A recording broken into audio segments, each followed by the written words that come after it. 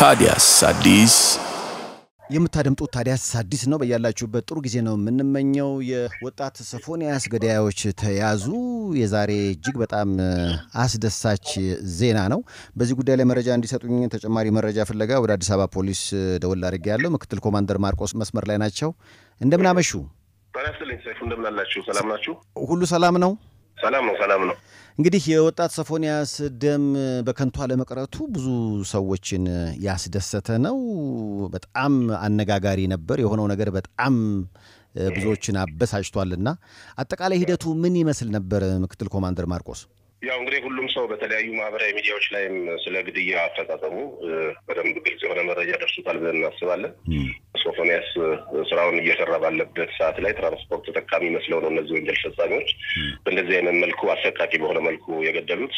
እዚህ መረጃው ላይም ግልጽ እንዳደረግ ነው አንገቱን በለበሰው ሹራብ ጭምር ሸምቆቆ አድርገው ነው ለህይወቱ ማለፍ ምክንያት የሆኑት። እጅግ በጣም አሰቃቂ የሆነ የወንጀል ድርጊት ነው የፈጸሙበት። እውነት ለመናገር ይሄ የወንጀል ድርጊት ፖሊስ ከሰማ በኋላ ከላይ እስከታች ሁሉም አመራሩን ጭምር እውነት ለመናገር ለማለት ያክል ብቻም ሳይሆን እንቅልፍ አልነበረንም። ምክንያቱም ልጁ ገና ወጣት ነው፣ የሀያ አራት ዓመት ወጣት ነው። በዚህ ላይ ሰርቶ የማድረግ ፍላጎት ያለው ነገር ብዙ ህልም ያለው ወጣት ነበረ። ወንጀሉ ከተሰማ ሰዓት ጀምሮ ሁላችንም እውነት ለመናገር እነዚህን ወንጀል ፈጻሚዎች እንዴት ነው ማግኘት የሚቻለው የሚለው ነገር የሁላችንም አሳሳቢ ጉዳይ ሆኖ ነበር እንቅስቃሴ ሲደረግ የነበረው። በተለይ በዘርፉ በወንጀል ምርመራ ዘርፍ ላይ የምርመራ እና የክትትል አባሎች እንዲሁም ደግሞ አመራሮችና የቴክኒክ ባለሙያዎች ጭምር ሌሊትም ጭምር ነው ሲንቀሳቀሱ የነበሩት እና ዞሮ ዞሮ ወንጀል ፈጽሞ የትም እንደማይደረስ ያሳየ ትልቅ ድንቅ ስራ ነው። ወንጀል ፈጻሚዎች እንግዲህ ወንጀል ሲፈጽሙ አንተም እንደምታውቀው በተቻለ አቅም ምንም አይነት ነገር እንዳይገኝ አድርገው ማስረጃ አጥፍተው አሻራ ደልዘው ነው ወንጀል የሚፈጽሙት። ሆኖም ግን ያው በደንብ በጥልቀት ከተሰራና የተለያዩ አካላት ደግሞ ተባባሪ ከሆኑ በሚሰጡ መረጃዎች ፖሊስ ውጤታማ እንደሚሆን ያሳየ ስራ ነው ማለት ይቻላል።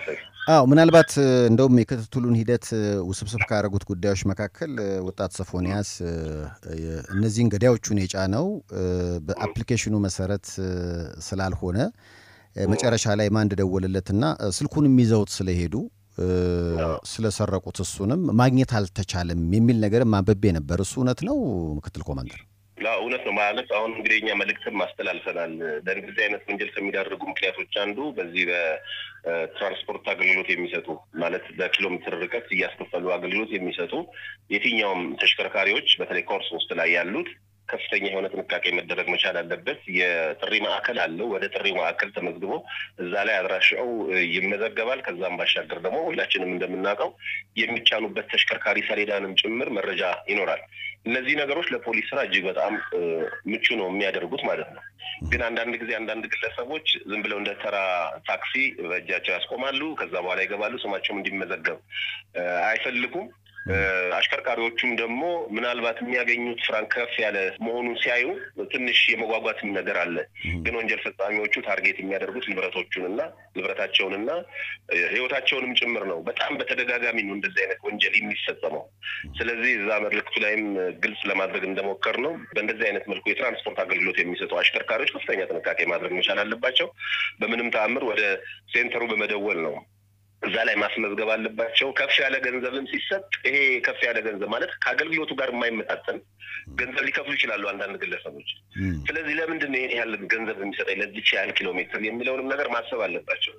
በኋላ ላይ ጉጉት በኋላ እንደዚህ አይነት ወንጀልም ሊያስከትል ስለሚችል ያው ጥንቃቄ መደረግ መቻል አለበት። አዎ ሌላው ምናልባት የተያዙት ሰዎች ፎቶ ተለቋል። ብዙ ጊዜ አንዳንዴ ተጠርጣሪ ምናልባት ሊሆን በሚችል ደረጃ ምናምን ተብሎ የሚያዙ አሉ።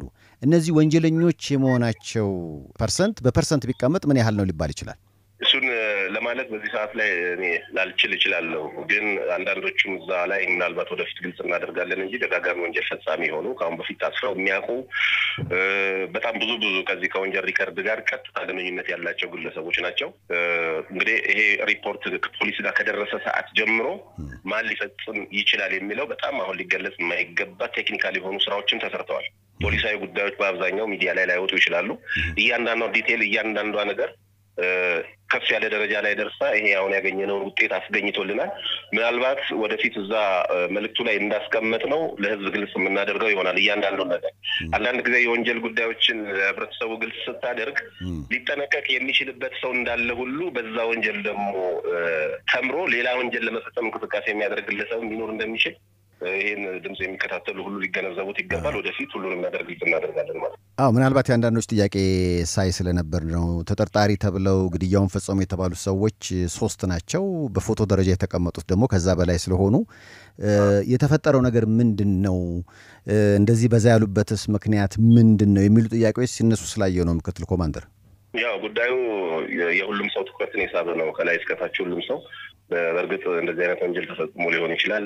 ግን በጣም አነጋጋሪ የሆነ ነው። በተለያዩ ማህበራዊ ሚዲያዎች ላይ እንዳያችሁት ዞሮ ዞሮ ግን ፖሊስ ሪፖርቱን ከተቀበለ ሰዓት ጀምሮ ባደረጋቸው እያንዳንዱ ፖሊሳዊ ስራዎች ውስጥ እነዚህ ሰዎች ዋነኛ ተጠርጣሪ ሆነው ስላገኛቸው ሰውም እንዲጠነቀቅ ለማስቻል ቀደም ሲል እንደገለጽኩልህም አንዳንዶቹ በተለያዩ የወንጀል ድርጊት ውስጥ ተሳትፎ የነበራቸውም ስለሆኑ ለሕዝቡ ግልጽ አድርጓል ማለት ነው። ሌላው ምናልባት የአንዳንዶች ጥያቄ ነው። ከፖሊስ ጋር በቀጥታም በተዘዋዋሪም ሊገናኝ ይችላል።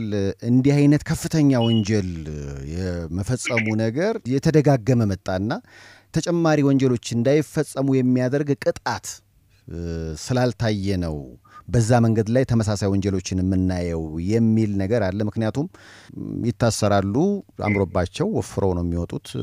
ስለዚህ አንዱን የሚያስተምር ነገር አይደለም። የፍርድ ሂደቱን በተመለከተ የብዙዎች ጥያቄ ነው እና በዚህ ጉዳይ ላይ ፖሊስ ምን ይላል? ያው የፍርድ ቤትን ጉዳይ ፍርድ ቤት ነው መመለስ ያለበት። በእርግጥ የፖሊስ ተልእኮ ይታወቃል። በተቻለ አቅም ወንጀል እንዳይፈጸም መከላከሉን ቅድሚያ እንሰጣለን። እንግዲህ በጣም በርካታው ሰው በሰላም ገብቶ የሚወጣው በመከላከል ዙሪያ በሚሰሩ ስራዎች መሆኑን መቼም አንተም አይጠፋህም ብዬ አስባለሁ። ወንጀል ከተፈጸመ ደግሞ በኋላ ወንጀል ፈጻሚውን ተከታትሎ የመያዝ ጉዳይ የፖሊስ ዋነኛ ስራው ነው። ከመከላከሉ ያልተናነሰ ስራ ነው። በዛ ሂደት ውስጥ እኛ መስራት የሚጠበቅብን እንሰራለን። እውነት ለመናገር ይህን እነዚህ ወንጀል ፈጻሚዎች በቁጥጥር ስር ለማዋል ቅድም እንደገለጽኩልህ ለማለት ያክል አይደለም። በጣም ብርቱ የሆነ ክትትል ነው የተደረገው። በጣም ባታምንም ትናንትና ሌሊት ስምንት ሰዓት ላይ ነው የመረጃው የደረሰኝ። ሌሊት ስምንት ሰዓት ላይ የፖሊስ አባሎቻችን ምርመራዎቹ፣ ክትትሎቹ፣ ሌሎች technical ስራ የሚሰሩ የፖሊስ አባሎች በሙሉ ውጭ ነበሩ ማለት ነው። ስለዚህ በዛ ዙሪያ ላይ የሚሰሩ ስራዎችን እኛ ሰርተን ውጤቱን እንግዲህ እናቀርባለን። ከዛ በኋላ ሌላው ጉዳይ የሚሆነው የሌላ ተቋም ወይ የሌላ የፍትህ አካል ጉዳይ ነው የሚሆነው ማለት ነው። በእርግጥ አንዳንድ ግለሰቦች informal ም ለኛ እየደወሉ በእንደዚህ አይነት ወንጀል ፈጻሚዎች ላይ የሚወሰነው ውሳኔ ቅሬታ አሳድሮብናል ምናምን ሊሉ ይችላሉ። እሱ ግን የፖሊስ ጉዳይ አይደለም እና እኛም መጠየቅ ካለብን ከራሱ ከተልኳችን አንጻር ከወንጀል መከላከል ወይም ከምርመራ አንጻር ብቻ ቢሆን እኔ የተሻለ ነው የሚል ሀሳብ ነው ያለኝ።